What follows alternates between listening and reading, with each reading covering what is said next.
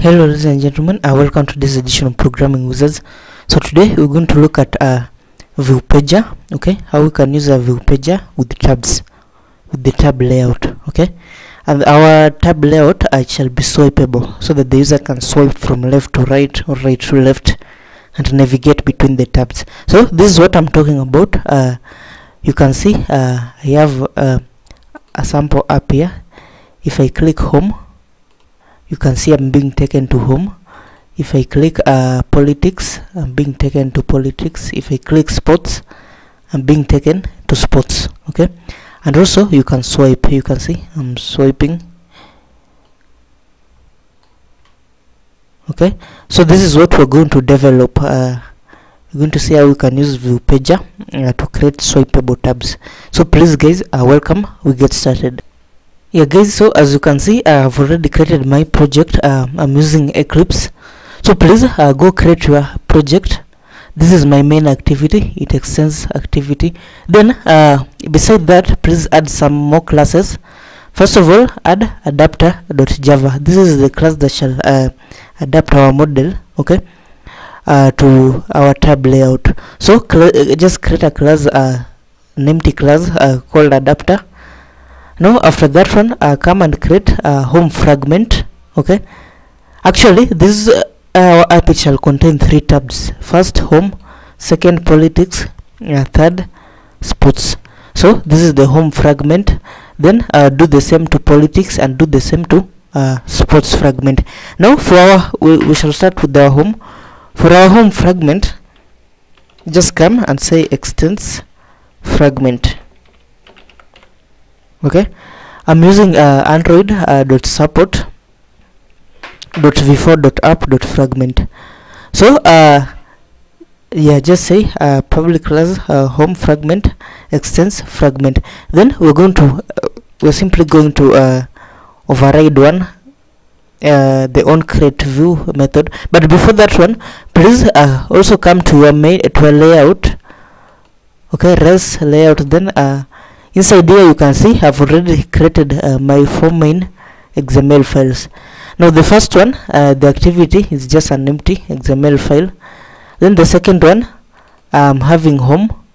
I've just put it there a text view okay?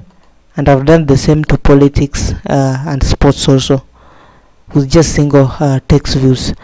So inside here I'll come and override the on create view method. So come and say uh, on create view. Okay then uh, here. I'll just create a, a view known as uh, root view. Then I'll say inflator dot inflate. Then I'll pass uh, the first uh, parameter that I'll pass is my layout. So say r dot sorry r dot layout. Given that this is home. We shall give it uh, home. Okay? So uh, after that one uh, next we go just uh, this one just uh, pass the container then false then now what we're going to do instead of returning this super dot on create view we're simply going to return our root view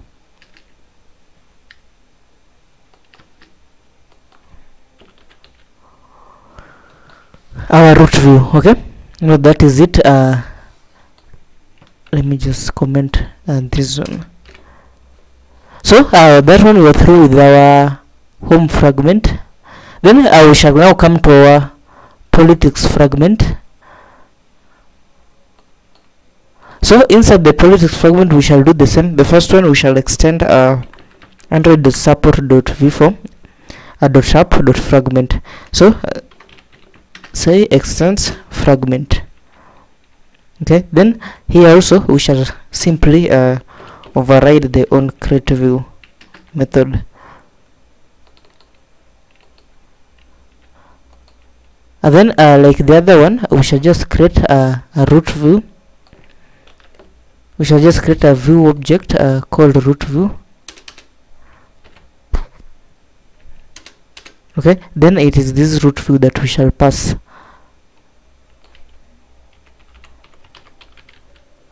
And uh, just to make it a little bit different to make it easier to see uh, what we're going to do uh, we're going to set some unique color to uh, this particular view okay? To differentiate it from the first one.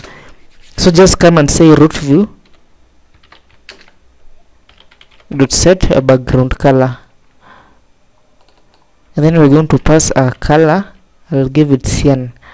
Color dot cyan. Okay? And that is our politics fragment. Now uh, once we're through the politics fragment uh, we're going to to the last fragment which is the sports fragment. Now for the sports fragment uh, we'll just do the same extends fragment. Then after that one uh, we are going to override the on create view uh, method so uh, just say uh, on create view. Then uh, I'm going to just paste uh, this one right here. So view uh, root view just the way we did it uh, r dot layout sports then container then false. Then you are setting the unique color color dot light gray okay? Then uh, we return our root view root view okay? And that one we're through with the uh, setting up our fragments. Now uh, what we want to do now we shall come to our adapter okay? Now for our adapter uh, the first thing say extends uh, fragment page adapter. Fragment page adapter. Then after that one we shall uh, add constructor which shall take a fragment manager uh, fm okay? Then after that one we're going uh, to uh, override a couple of methods. So let me just comment down here. Now the first method that we're going to uh, override is the get item method. Okay? So int this one shall be position. Then inside uh, remember we're going to return a fragment. Okay? So let me just uh, put this one over there then uh, the first thing we're going to create this uh, our um, fragment. So say fragment f equal to uh, we shall associate it with the null. Then uh, if position equal to 0 okay that is if it is the first fragment then we're going to create it. If uh, f equal to new home fragment so we are assigning home fragment as the very first fragment. Then else if pose equal to 1 that is the second fragment uh, f equal to new uh, let me give it politics fragment. And then uh, lastly uh, else if pose equal to 2 we shall give it uh, the politics fragment. So f equal to new no sports fragment. Okay? And this one remember this method I shall take the position and return for us a fragment object. Now uh, we shall return uh, that f. Now after overriding uh, the get item method uh, the next method of course that we're going to override is the uh, get count a method that shall return for us uh, the total number of tabs or fragments. And this one to do this one? I'm just going to uh, return it manually 3 okay? Then uh, after overriding that one uh, the next method that I shall override is the get pager title. Now this one this is what we shall determine what shall be displayed in the tab. So uh, just say get pager title. As usual shall also take the position. And then now uh, depending on the position I shall return the title. So we shall say if position equal to 0 that is if it is the first fragment or the home fragment. The title we shall just uh, want to return home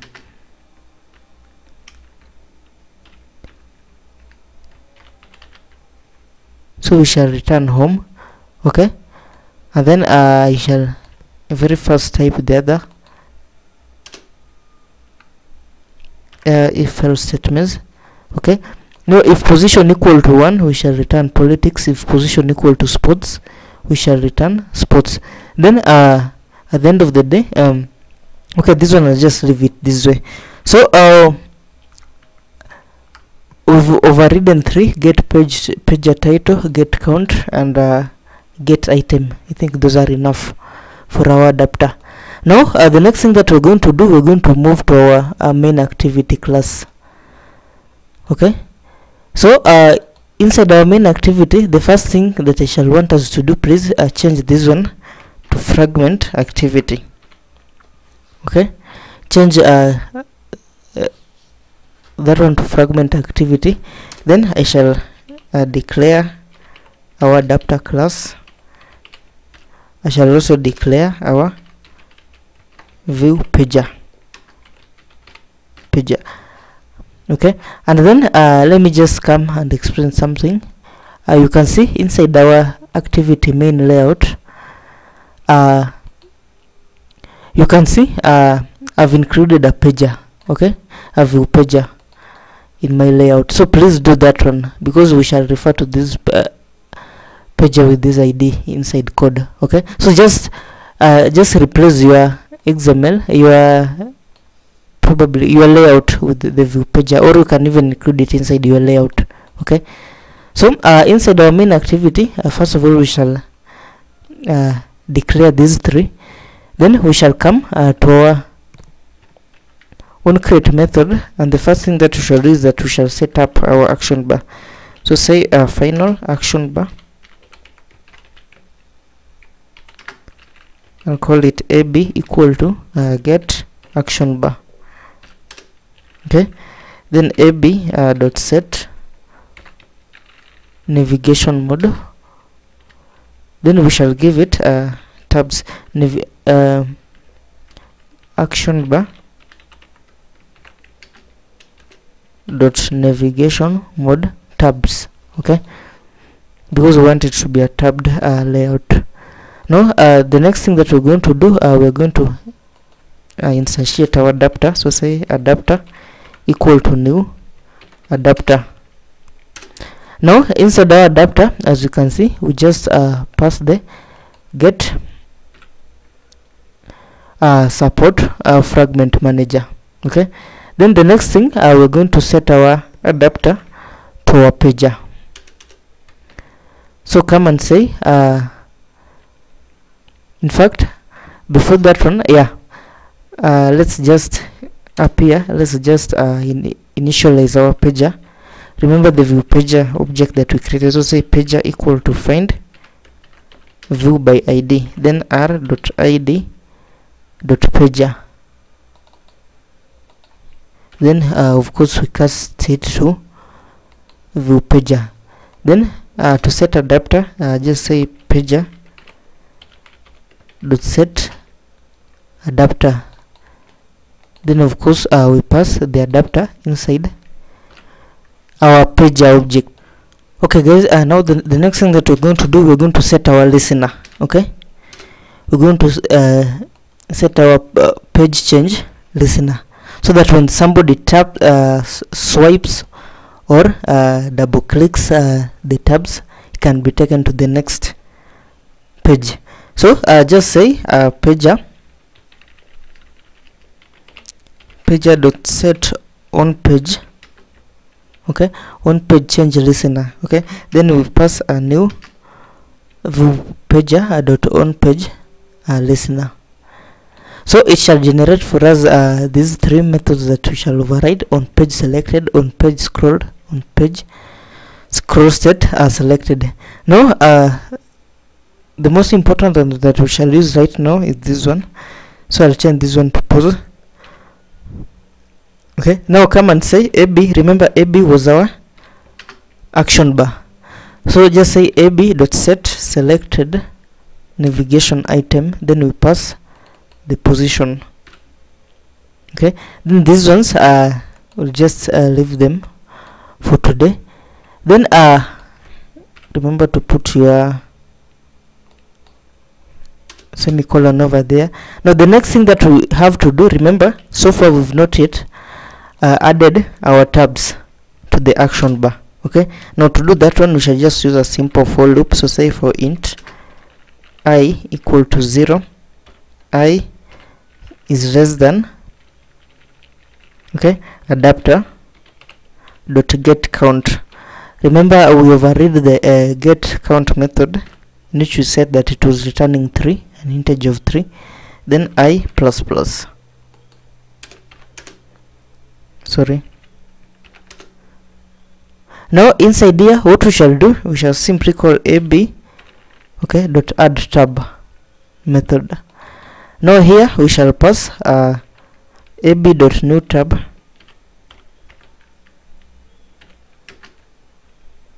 Ab uh, new tab method. Then we shall uh, set text. And how to set text? Actually we shall just call adapter. Remember in our adapter uh, we override a method uh, known as get pager title in which we are required to pass the position okay? So this is what we simply do. The get page title inside our adapter. Remember here this one. We pass the position then it returns for us the title depending on the position. So that's what we uh, override.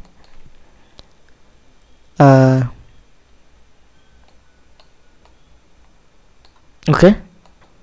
Now uh, guys uh, before we forget please remember uh, we, we also have to set uh, the action bar we have to make our activity our main activity extend action bar tab listener so come here and say implements.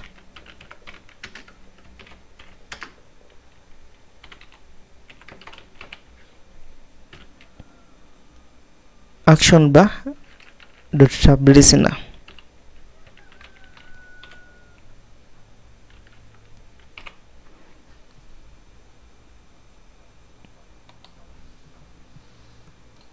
yeah this one should be action bar okay?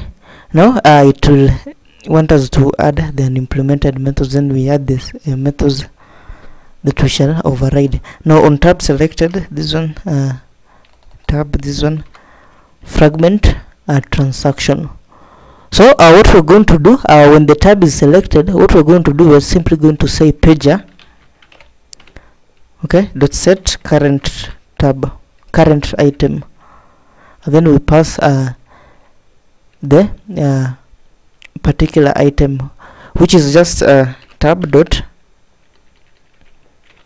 uh, get position. Okay? So remember uh, when the tab is selected uh, this is uh, we shall be setting uh, the particular uh, item depending on the position. Okay and in fact that one should be uh, enough for today. So uh, what I'll do I'll simply run our program. I don't think if we have any error. Yeah guys uh, so in fact uh, before before we run our program please come here and let, let us set the uh, callback. So say uh, get uh, page title dot set tab listener okay? Then you pass this I don't know why I forgot this one. Now pass uh, the this uh, context inside it.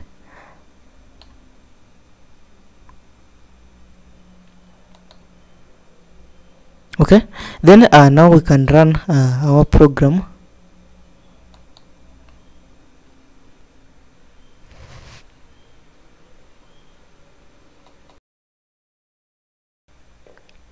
yeah guys so uh, you can see if we run our program this is what we come uh, about with. You can see now uh, I have the also have the politics fragment. Uh, if I move to the politics you can see it's taking me to the politics okay?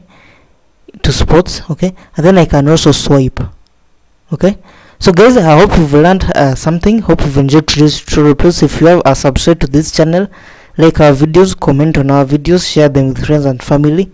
And please uh, take care see you next time